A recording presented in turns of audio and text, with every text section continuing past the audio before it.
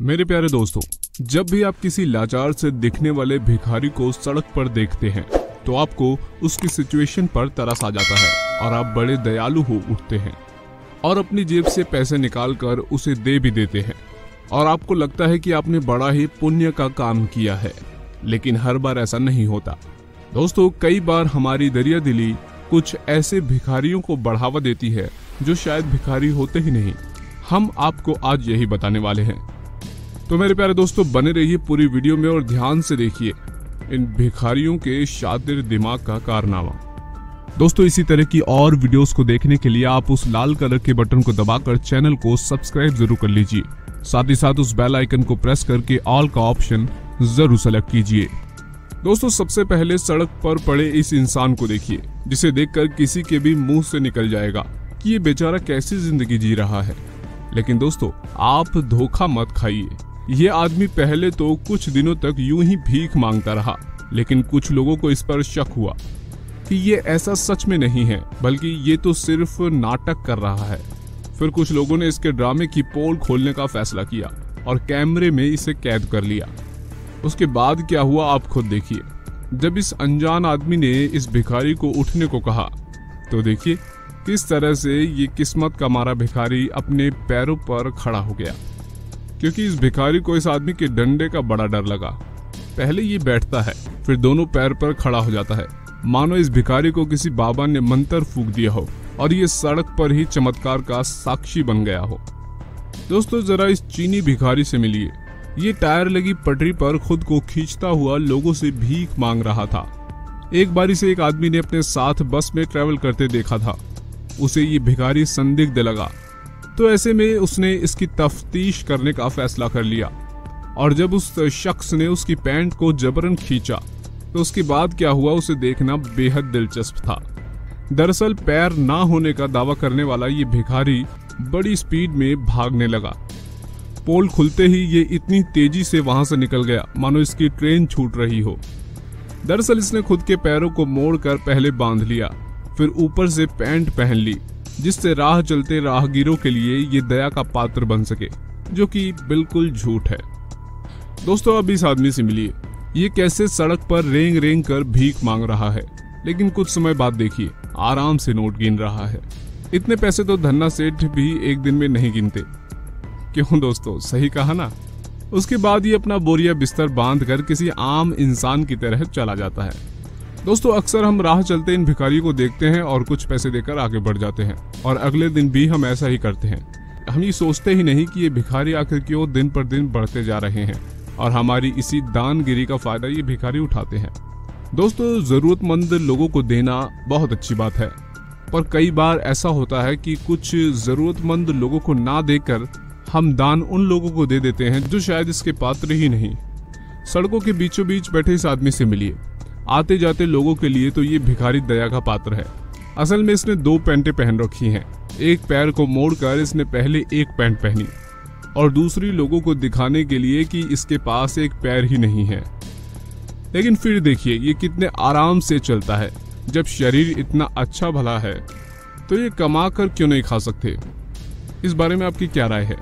दोस्तों, इस वीडियो को आप देख पा रहे हैं कि कैसे एक आदमी अपनी पत्नी और चार छोटे बच्चों के साथ सड़क पर खुद को घसीट घसीट कर चल रहा है और लोगों से भीख मांग रहा है। आखिर ज़िंदगी मिली है तो पेट तो पालना होगा। लेकिन दो लेकिन दोस्तों, यहाँ आप एक बात जान लीजिए। आप इस भिखारी को पहले दिखाई वीडियोस की तरह चालबाज ना समझे। नहीं नहीं। ये कोई असल भिखारी नहीं, बल्कि महा चालाक भिखारी है। जहाँ पहले वाले भिखारी खुद इस जालसाजी का हिस्सा थे, वहाँ इसकी तो पूरी फैमिली ही इसमें शामिल है। देखिए अब कितने आराम से ये एक घर की सीढ़ियों पर बैठ जाता है और फिर अपने गेटअप को चेंज कर पैरों में चपले डाल अपनी फैमिली के साथ चला जाता है। दोस्तों, जब ये वापस घर लौटता होगा तो इसके पड़ोसी तो यही सोचते होंगे कि बंदा फैमिली को घुमा कर लाया है। दोस्तों, अब जापान के इस भिखारी बच्चे को देखिए। भीख मांगने का ऐसा नायाब तरीका आपने कभी नहीं देखा होगा। ये मासूम सा बच्चा किसी कछुए की चाल चल रहा है, मगर असल में तो इसका दिमाग किसी खरगोश की चाल से भी तेज है। बच्चे की चालाकी देख रहे हैं आप? बड़ा होकर इसका बिलियनियर बनना तो तय समझे। आपको क्या लगता है? दोस्तों, चलते चलते रोड साइड रोमियो। नहीं नहीं नहीं नहीं, माफ़ कीजिए रोड साइड भिखारी से मिलिए। क्यों? हैरान कर दिया ना इसने। लेकिन अब जो आपको हम दिखाने वाले हैं, उसे आप महज किसी भिखारी की चालाकी ना समझिए। ये हमारे समाज की कड़वी सच्चाई है, जो ये बताती है कि हमारी सोसाइटी में आज बच्चों की ज़िंदगी से कैसे खिलवाड़ हो रहा है। इस बच्चे की सूरत देखकर किसी का भी दिल पिघल जाएगा, लेकिन शायद इसकी माँ का नहीं पिघला। दोस्तों, दरअसल ये औरत अपने बच्चे को लोगों को दिखाकर भीख मांग रही थी और अपने बच्चे के इलाज के लिए पैसे मांग रही थी। उसका कहना था कि उसके बच्चे को चोट लगी है और उसके पास इलाज के लिए पैसे नहीं है, लेकिन आगे देखिए क्या होता है। जब इस बच्चे की इन पट्टियों को खोला जाने लगा तो ये औरत अपने गरीब होने की दुहाई लगातार देती रही और जैसे जैसे पट्टियाँ खुलती गई, सच सामने आने लगा। बच्चा बिल्कुल ठीक था, लेकिन यहाँ सवाल ये था कि ऐसी भी क्या मजबूरी कि बच्चे के बचपने को कमाई का ज़रिया बना लिया गया। दोस्तों, सवाल एक और है कि क्या ये औरत ही इन बच्चों की माँ है? क्योंकि एक माँ भी ज़रूर भीख मांग लेती, मगर अपने बच्चों को इस तरह नहीं मांगने देती। दोस्तों इस बारे में आप क्या सोचते हैं? अभी कमेंट बॉक्स में लिखिए। ठीक ऐसा ही मामला एक और सामने आया जहाँ दो बच्चे भीख मांग रहे थे जिसमें व्हील चेयर पर बैठे बच्चे के दिल में छेद होने की बात बताकर पैसे जोड़े जा रहे थे। वो तो भला हुई अंकल का जिन्होंने इन्हें पकड़ लिया। फिर जो बच्चों ने बताया उसे आप खुद सुन लीजिए। दो सौ रूपए दाढ़ी पर आयो ये बच्चे दो सौ रूपए की दिहाड़ी पर रोज इस तरह के काम को कर रहे हैं और व्हील चेयर पर बैठा बच्चा बिल्कुल ठीक है। लेकिन मात्र दो सौ रूपए के लिए उसे सारे दिन अपने गर्दन को टेढ़ा करके बैठना रहता है। जिस उम्र में बच्चों को नई नई चीज़ों का ज्ञान पाना होता है, उस उम्र में ये चाइल्ड ट्रैफिकिंग के लोग बच्चों को अपने धंधे का मजदूर बना डालते हैं। हमारे देश के भविष्य के लिए ये जरा भी सही नहीं हो सकता। दोस्तों, सड़क पर लेटे इस बच्चे की हालत देख कर किसी का भी दिल पसीज सकता है। लेकिन फिर देखिए, बच्चे को पकड़े जाने का डर सताने लगा। और वह चीखने लग जाता है। दोस्तों, जरा इस भिखारी को ध्यान से देखिए, जिसमें पल भर के अंदर ही उसकी पोल खुल जाती है।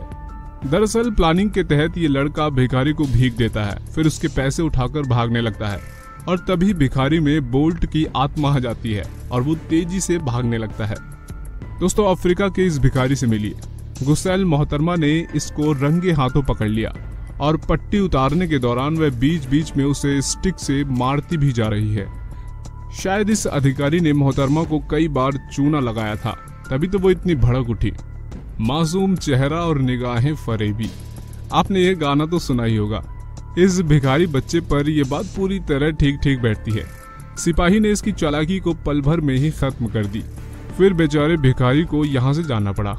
दोस्तों, इस शख्स को देखिए, जिसने बच्चे के हाथ पर झूठ मूठ की पट्टी बाँध भीख मांगना चालू कर दिया। जब भी लोगों की नज़र में चढ़ा तो इसका झूठ पकड़ा गया और लोगों ने जबरन बच्चे की पट्टी को खुलवा दिया। इसके बाद ये देखिए कैसे रास्ता नापता फिरा। लगे हाथ इन्हें भी देखिए। दुनिया में इस जैसा कोई लाचार नहीं होगा। आखिर पैर होते हुए ना चल पाने का साहसिक कार्य ये लड़का ही कर सकता है। इसके भाई को भी देखिए। दोस्तों, अब बारी हमारी वीडियो के उस भिखारी से मिलने की, जिसकी रोने की आवाज़ से किसी को भी रोना आ जाएगा। देखिए, ये बेचारा कितना लाचार है।